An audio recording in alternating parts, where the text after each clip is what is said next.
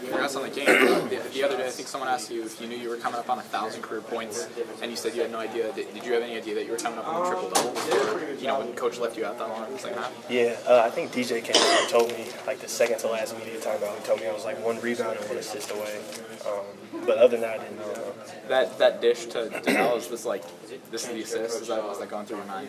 Yeah, I pretty much knew at that point that I needed. Did were you did you like appreciate that he told you that, or were you like, no, I have this to think about too? It was a little bit of both because I would I wouldn't have known if he wouldn't have told me. But at the same time, you know, it's an honor um, to be mentioned with the type of guys like Gary Grant, uh, Darius, and um, it's just a blessing. What, what was sort of going through your mind when you, you heard the ovation when you got you know walking off the court after you achieved that? Uh, I thought it was pretty cool, you know, to uh, accomplish that and a thousand point in one game. So I thought it was cool. Yeah. Did you know? Did you say you didn't know that you were close? Um, I knew. I think the second to last media timeout, someone came over and told me. So what did you see on that last one when you gave it to Mark?